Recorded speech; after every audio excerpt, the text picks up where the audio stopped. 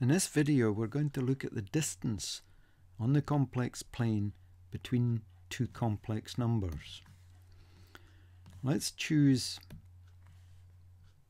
a complex number z and a complex number w. Now they come with associated vectors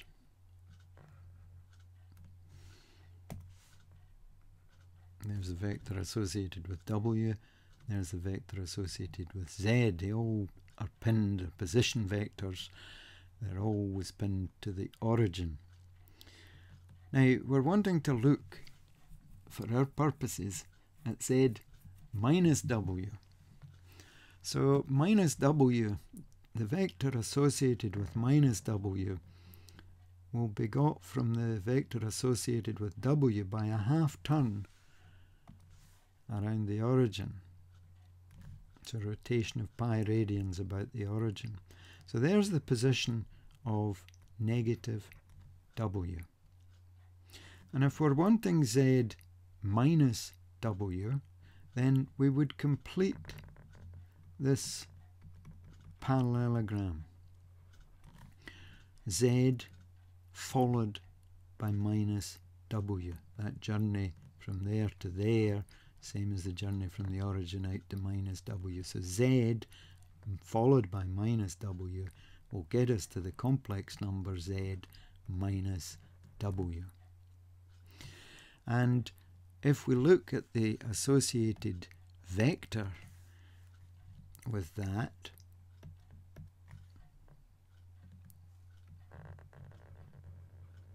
that would be that line there.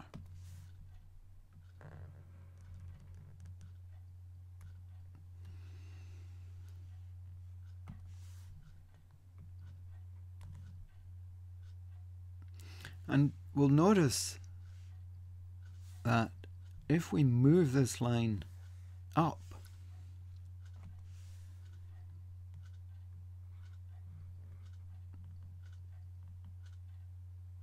it's exactly the same. There's another parallelogram we've got from the origin out to z minus w and travelling from w to z.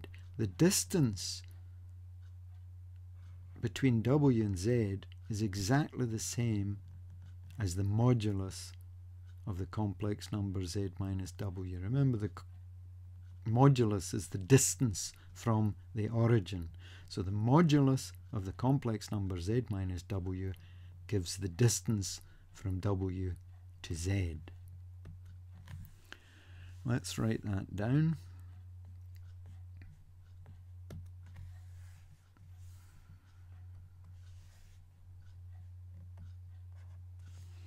The modulus of z minus w is the distance between Z and W. W and Z.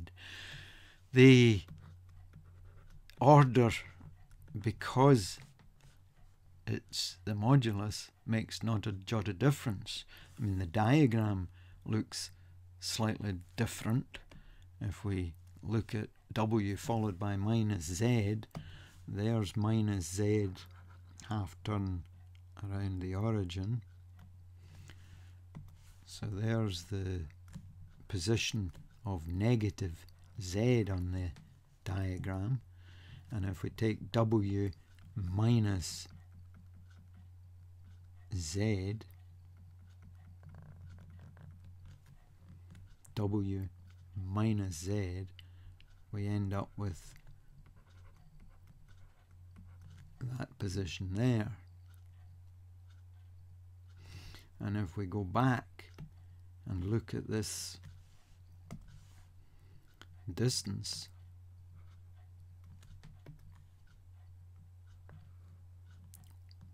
which was the modulus of z minus w, you can see now that it's exactly the same as the modulus of w minus z, as it should be. z minus w and w minus z are the negatives of each other. We have two healthy parallelograms sitting in this diagram and that green line is the diagonal of both of them representing z minus w or the other way, the arrow in the other direction representing w minus z and these two moduli are exactly the same as the distance from w to z.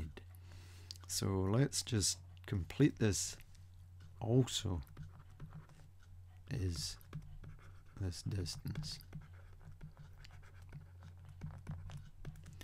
So if you want to find the distance between two complex numbers in the complex plane, subtract them and find the modulus. Let's try an example.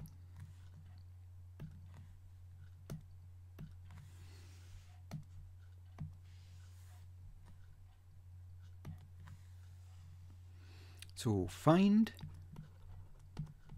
the distance between Z and W where Z is equal to 2 plus 3i and W is equal to negative 1 minus 2i.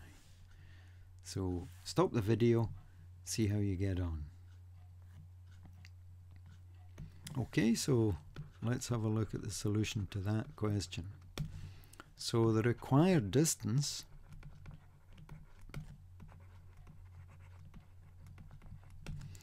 is given by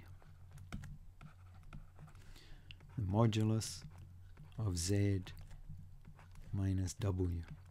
So that's the modulus of 2 plus 3i minus negative 1 minus 2i. So that's 2 plus 3i plus 1 plus 2i. And we work out the real part, which is 2 plus 1. And the imaginary part is 3i plus 2i, which is 5i. And the modulus of a complex number we know is the square root of the real part squared plus the complex the imaginary part squared. So it's the square root of 9 plus 25, which is the square root of 34. Now it wouldn't have made any difference whether we did w minus z, found that uh, modulus at this stage, any negatives that we got would just be um, wiped out by the squaring process. So we'd get exactly the same square root of 34. One last example this time, find the distance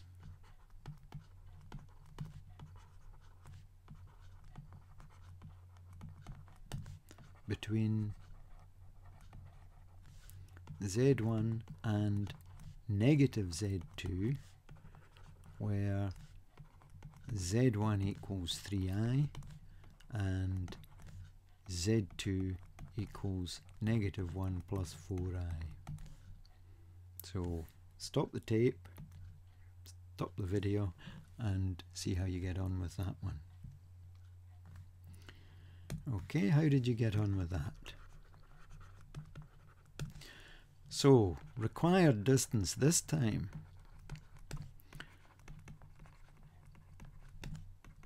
is the modulus of the difference between these two, z1 minus negative z2 so that'll be the modulus of the sum of these two vectors, uh, these two complex numbers. So we get the modulus of 3i plus negative 1 plus 4i. Now we don't need these second brackets, that's just a negative 1 plus 4i. Real part is minus 1, the imaginary part is 7i and therefore the modulus of that square root of the real part squared, negative 1 squared, and the imaginary part squared. So that's the square root of 1, positive 1, plus 49, square root of 50.